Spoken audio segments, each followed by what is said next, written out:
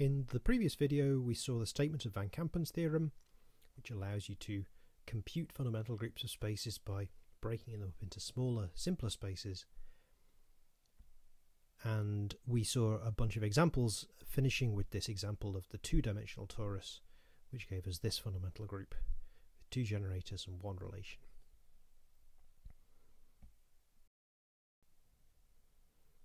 Now the two-dimensional torus has a cell structure that we've already seen in which there is one zero cell, which is basically the the vertex of the square. There are four vertices, of course, but they all get identified down to one vertex when you make the opposite sides identified. Uh, and then there are two one cells, A and B. This is a circle, right? It goes from this point back to the same point after the identification is made. This is also a circle. And lo and behold, in our presentation, there are two generators, one for each one cell. Then there's a two cell, which is this square, the square itself, the interior. And lo and behold, there's one relation which corresponds to that two cell. So this is an instance of a more general fact, um, which I'm going to prove now, which says that if X is a cell complex, say CW complex, and just for simplicity I'm going to say it's got one zero cell. You can phrase this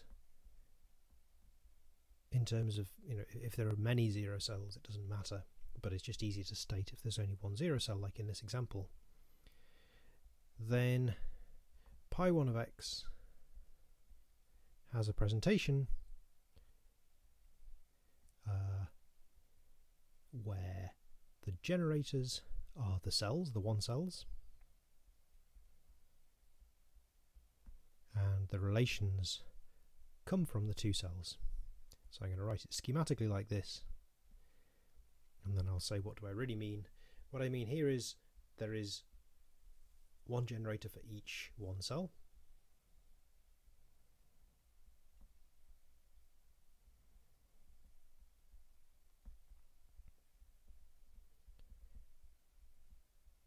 And what do I mean here? Well, I mean there is one relation for each two cell and I need to tell you what that relation is.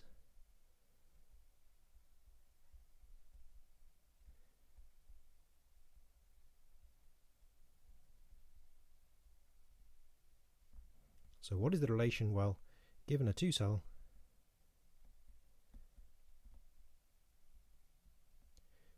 um, if you follow its boundary around, then you get a loop inside the one skeleton because remember the two cells, their boundary has to attach to the one skeleton, the thing made out of one cells. So following its boundary,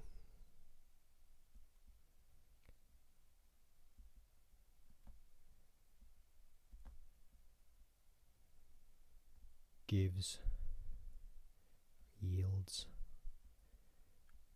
a loop in the one skeleton.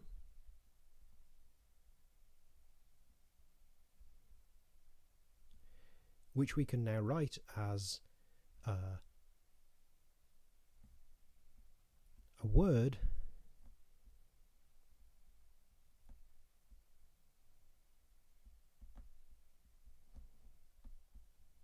in the one cells, just like we did for the torus. Okay, we said A, B, A inverse, B inverse. That was what we got by following the boundary of the two cell. So um, let's call this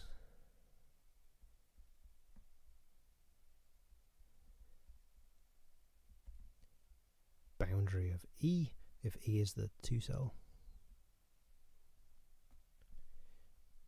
So then the relation is boundary of E is the identity. And clearly that holds, right? So clearly that relation should hold in the fundamental group because the boundary of E is a loop which is contractible because you can contract that loop over the interior of the, the two cell E. So certainly this relation holds and the claim is those are the only relations you need.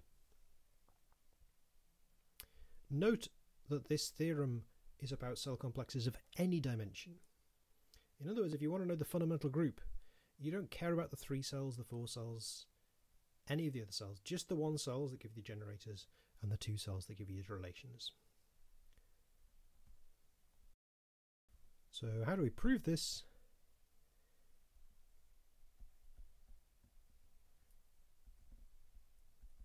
Well, let's start by looking at the one skeleton. So x1 is the one skeleton. In other words, the union of the one cells. Well then, x1 is obtained by attaching one cells to a point. So it's just a wedge of circles.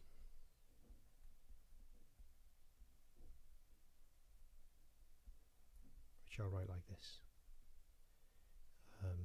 So this wedge is supposed to be taken over however many one cells there are. Could be infinitely many one cells. Now, applying Van Kampen's theorem, we've already seen that the wedge of two circles gives you the free group on two generators. So it should be no surprise that by induction, you know, pi 1, uh, sorry, this is x1, the one skeleton pi 1 of the one skeleton is the free group on however many generators you need, however many one cells there are.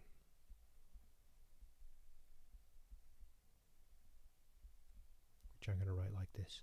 Remember, Z star Z is our notation for the free group on two generators. This is the amalgamated product notation, but with no subscript. That means we're not amalgamating over anything, it's just a free product. So here I'm saying you take the free product of as many copies of Z as you need. So this is by induction using Van Kampen. We've already basically seen this. Um, and that gives you your generators, right? So then um, we need to figure out what happens when we attach a two cell. So to deal with the two cells, what I need to prove is that if y is some space,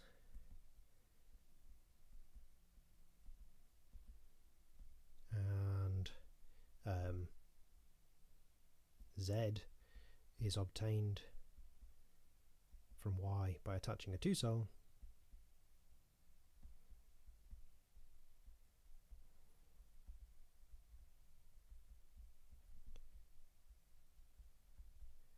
say E.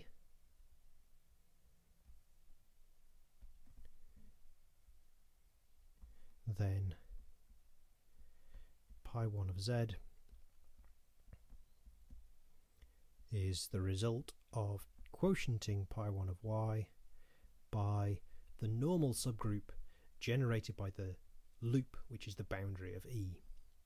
So I'll write that as n dE. Is the normal subgroup.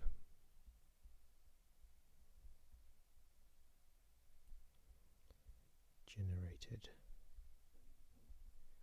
by the loop, which is the boundary of the two cell, as we defined up here.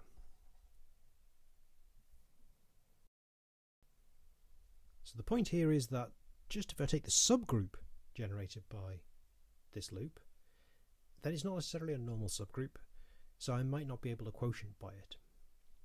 So if I really want to impose the relation that that loop is the identity, I need to divide out by the whole normal subgroup generated by that element. When I say normal subgroup generated by it, I mean the smallest normal subgroup containing that element.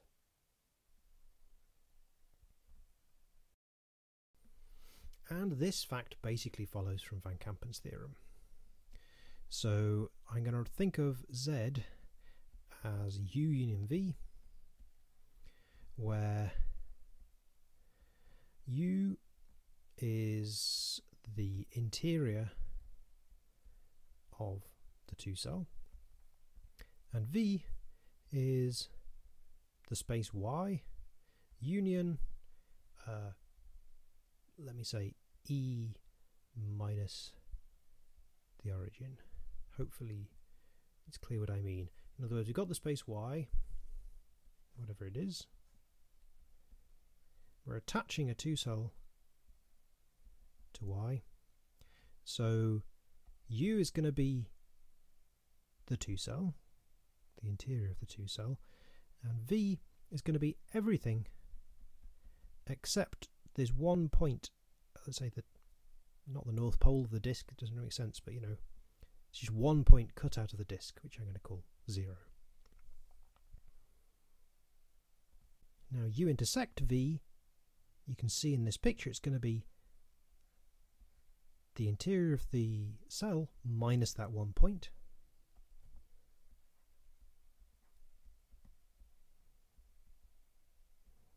and you can see that's homotopy equivalent to a circle. U itself is contractible because it's just a disk. And V is homotopy equivalent to Y because I could just move down these lines and retract that blue region back onto Y.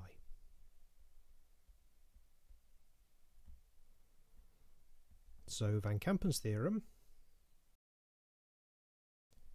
tells me that pi 1 of z is the amalgamated product uh, of pi 1y with the trivial group, which is pi 1 of u, amalgamated over this uh, copy of z, which comes from pi 1 of the intersection. What does that mean? It means I take the generators and relations of pi 1y, I add nothing, generators and relations of the trivial group, and then I add an extra amalgamated relation which is going to be exactly the thing that says the boundary of this two cell is contractible in Z. So the new amalgamated relation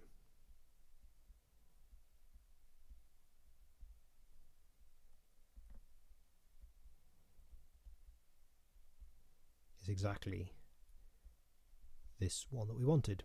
And that's the only one we have to add by Van Kampen's theorem, right? Van Kampen's theorem saying these are the generators and relations of Z, you take the generators relations of Y, and you add an extra relation, which is this amalgamated relation.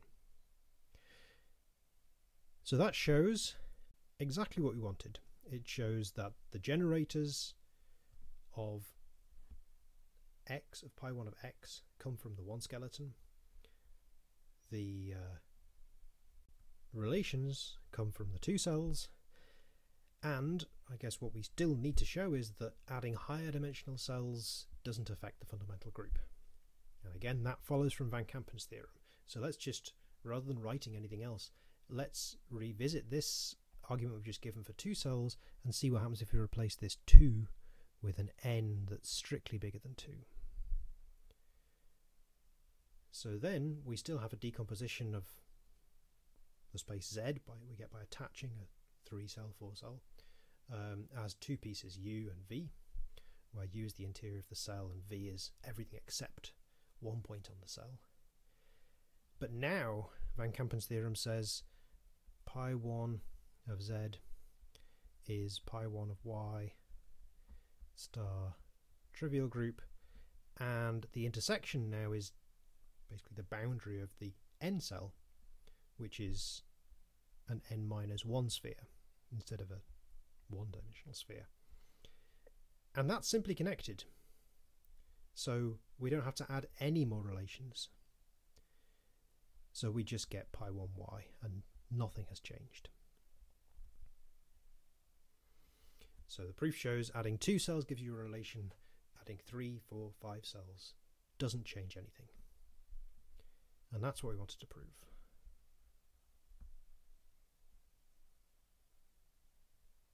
This is powerful. This gives you a way of computing pi 1 for any CW complex.